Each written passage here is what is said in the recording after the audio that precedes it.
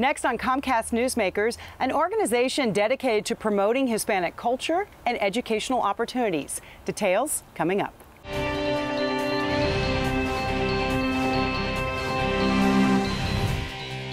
Hi, welcome to Comcast Newsmakers. I'm Sabrina Register. We are here at beautiful Avista Stadium today, home of the Spokane Indians. Joining me right now is Bernadette Pillar, who is president of the Hispanic Business Professionals Association. Bernadette, so nice to see you. Nice Thanks for coming on the program. Nice to see you, Sabrina.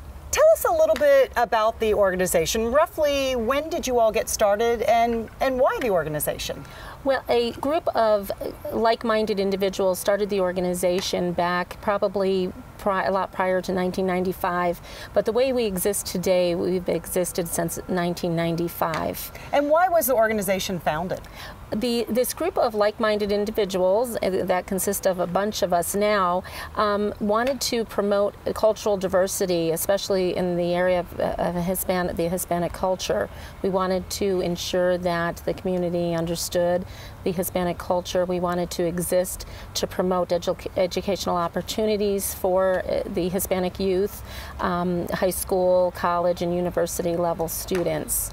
So it sounds like, if I'm hearing you right, really there wasn't an organization that existed that had that sort of goal or aim in mind prior to you all starting. And I cannot really speak to that very much, but um, as far back as, as when the organization started, I don't believe that there was another organization that existed in this form. And the Hispanic community, you said, you know, you all are all about promoting Hispanic culture and educational opportunities. Is the Hispanic community in Spokane, the greater Spokane area, is that a growing population? Yes, it is. It's a, a very growing. We have a lot of um, uh, a lot of um, Hispanics that are in very um, high astute positions. We've got educators, we've got um, professionals, um, we have just a, a very large growing population, and we want to um, offer our support for the education of the Hispanic the Hispanic youth. Great. So you have members now, but you are looking for more members. Always. Roughly yes. how many members do you have right now? Well, we have uh, approximately on my distribution list, we have about 250 people who receive our distribution, you know, my emails sure. and notifications about the meetings and what have you. But as far as our membership exists, is about 60, 60 paid members. And so um, you're hoping to have more people of join? Of course, yes. So one question people might be watching us at home right now saying, gee, I'd like to, you know, be a part of this organization. I'd like to help promote Hispanic culture, educational opportunities for youth. Uh, I am not Hispanic. And you would say what to that? I'd say it doesn't matter. I'd say we have many, um, actually a good portion of our uh, population, our membership population is, is not Hispanic.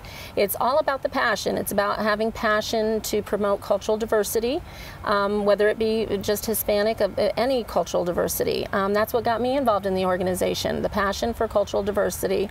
Um, we hold one major event a year to raise money for the uh, uh, scholarships that we uh, that we issue, and mm -hmm. we could use their help. So we would love to have. we would love to have you.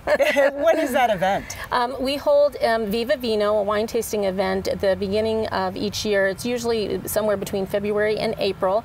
Um, April 5th 2014, I believe, is our target date for the, this next year's event. We are, the committee is working on that right now. And it is a wine tasting, live auction, silent auction, and we raise lots of money for the scholarships. And we, we issue those scholarships to qualifying youth um, who have applied and gone through the process. We issue those at our annual graduation ceremony at Spokane Community College in May. It's usually the, I believe, the third May, uh, excuse me, the first Thursday of the month of May. Bernadette. So, Thank you so Thank much you. for talking to Thank us. We're out of time, but appreciate you telling us about the organization. Thank you. Thanks for watching Comcast Newsmakers.